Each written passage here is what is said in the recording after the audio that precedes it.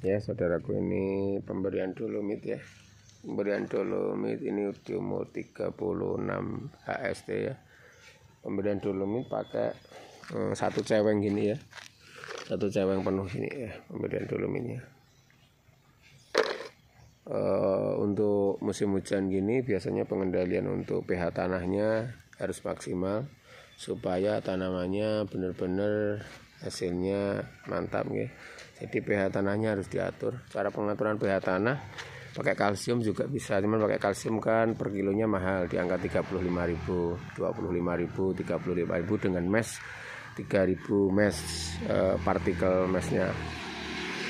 Jadi ini kita pakai yang murah meriah pakai dolomit ya. Dengan pakai dolomit penduduknya nek kono kata Pak. Yang kandang pitik ya Pak.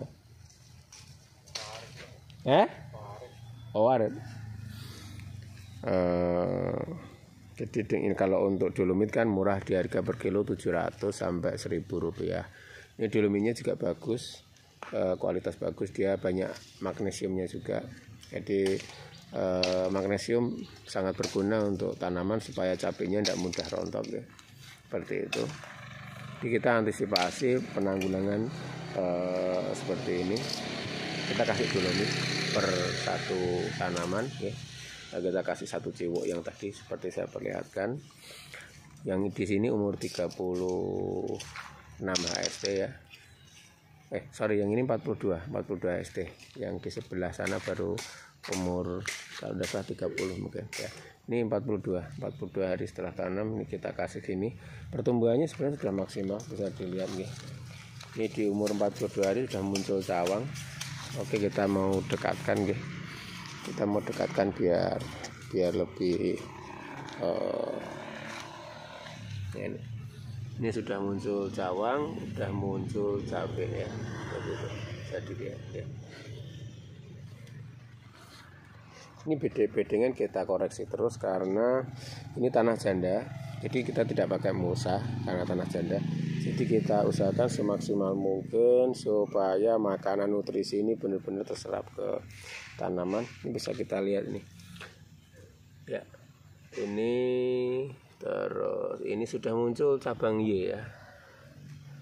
Sudah muncul cabang Y bisa dilihat ya ini juga sudah muncul cabang Y semua sudah muncul cabang Y.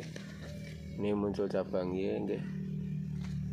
ini juga muncul cabang Y. Jadi kalau sudah muncul cabang itu keuntungannya itu satu apa namanya uh, pertumbuhannya nantinya akan uh, cepat pertumbuhan untuk tanaman cabenya uh, sekarang waktunya untuk mempercepat uh, cabang ginya tumbuh ya.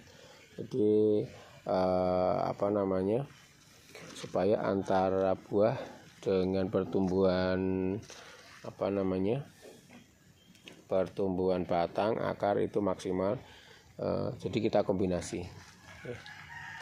kita kombinasi nah itu saya dilihat tuh itu mau pemberian dolomit ya dolomitnya kualitasnya bagus ya.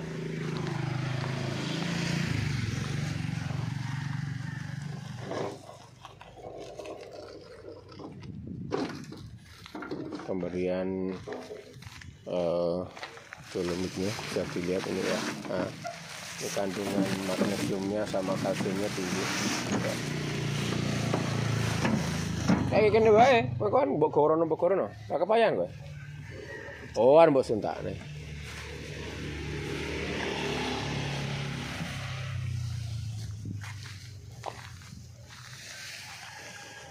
Jadi Uh, kalau sekarang kalau ditutup ketinggian sama yang tertanam di bawah itu mungkin 25 sama 50 75 75 HST ya 75 hari setelah tanam eh kalau 75 75 cm 75 cm ya. Ini bisa dilihat nih ya. Cabang nya muncul terus ya. Pertumbuhan signifikan bagus. Sesuai dengan harapan ya yang pasti kerja keras tidak pernah akan mengkhianati hasil.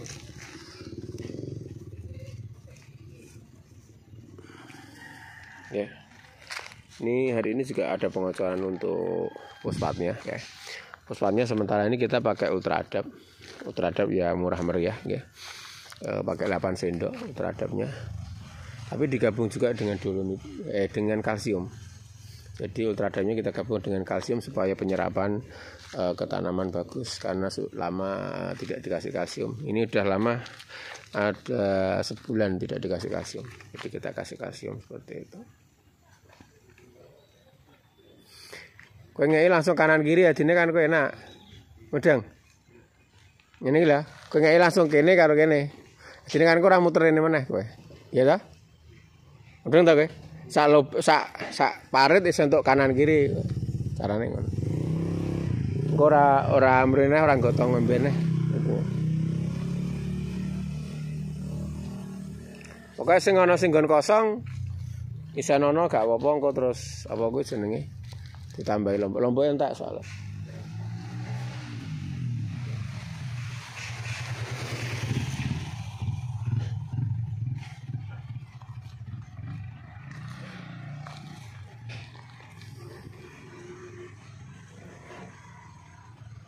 Jadi kita benar-benar apa e, memaksimalkan pertumbuhan tanaman supaya hasilnya bagus nggih. E, jadi kita harus tahu apa yang dibutuhkan tanaman. Kalau kita sudah ngerti apa yang dibutuhkan tanaman, otomatis apa yang dikerjakan sudah pasti e, sesuai harapan. Ini kita pakai ilmu pasti, ya. kita pakai ilmu pasti pasti sesuai harapan, tidak mungkin tidak sesuai harapan. Ya cuman harus memang benar-benar mengetahui uh, teknik-tekniknya. Jadi tidak mungkin akan uh, jauh dari harapan itu begitu. Ini udah umur 36 hari sudah pencapaian di pertama kali tanam kita kocor sama insektisida hari kedua kita kocor sama fungisida terus di hari ketiga ya di hari ketiga kita baru masukkan ke tanaman. Pas hari ketiga kita masukkan tanamannya tanaman cabenya terus langsung kita kocor dengan pembedah tanah ya. Pembedah tanah kita pakai trichodema asam umat sikarbon sama kalsium habis itu berturut-turut di hari kelima di hari ke 10 di hari ke 15 kita kocor sama asam amino sama fosfat sama kalsium sama asam umat jadi eh, hari ke-5 hari ke-10 hari ke-15 setelah tanam kita kocor dengan trikodema asam umat sikar eh, sikar tidak eh, kalsium dengan eh, eh maaf maaf sorry sorry. Di hari saya ulang ya di hari ke-5 10 sama hari ke-15 kita kocor dengan asam amino fosfat asam umat sama eh, kalsium. Masing-masing kita kasih ya, untuk asam aminonya kita kasih 100 ml untuk fosfat kita kasih 8 sendok. Terus untuk uh, kita kasih 8 sendok terus untuk asam umat kita kasih 3 sendok. Seperti itu ya. Jadi bisa dilihat hasilnya ya.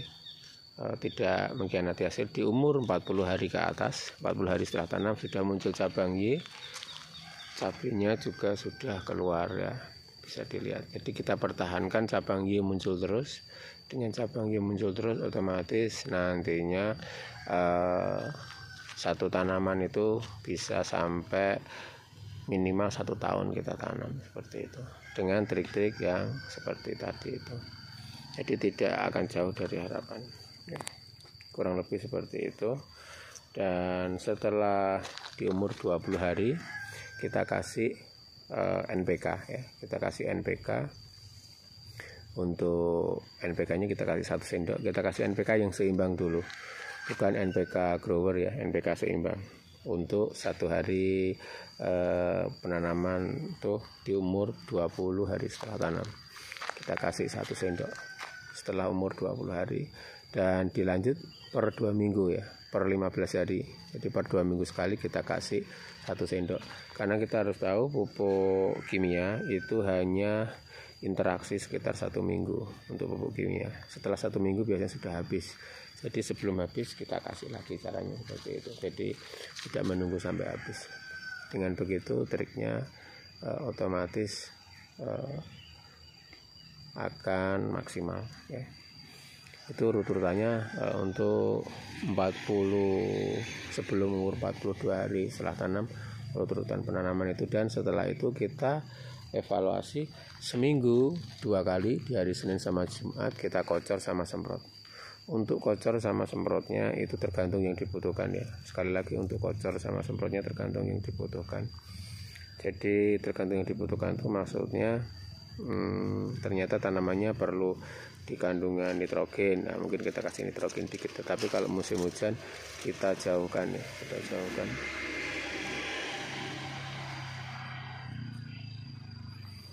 Jadi untuk musim hujan segini mungkin kita jauh dari nitrogen ya. ini yang umur di angka uh, 13 SD yang sebelah ini. Masih kecil-kecil. Tetapi juga sudah lumayan ya.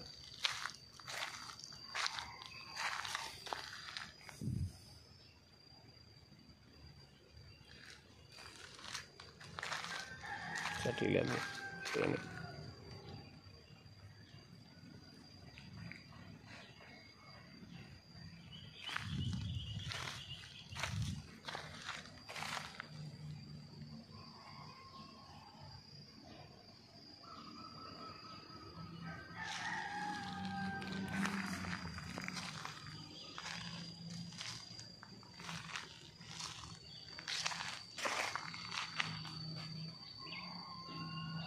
kalau pertama kali memang biasanya uh, daunnya lebar-lebar karena nutrisi keserap ke situ semua. Tetapi uh, setelah itu daunnya nanti standar karena cabang Y nya udah mulai banyak supaya pembesaran batang sama akar dia uh, mumpuni harus kita kalkulasi uh, seperti itu. Okay. nanti kita untuk untuk tunas-tunas air kita bikin antara 4 sampai 7 ya. 4 batang sampai 7 batang untuk tunas-tunas air jadi tidak boleh kelebihan juga tidak boleh kekurangan untuk supaya nantinya eh, cabang eh, cabang Y-nya itu supaya eh, banyak ya dan maksimal seperti itu. Oke, demikian untuk kali ini. Kita pasti ingin hasil yang maksimal, tetapi juga kita harus pengorbanannya juga pasti maksimal juga.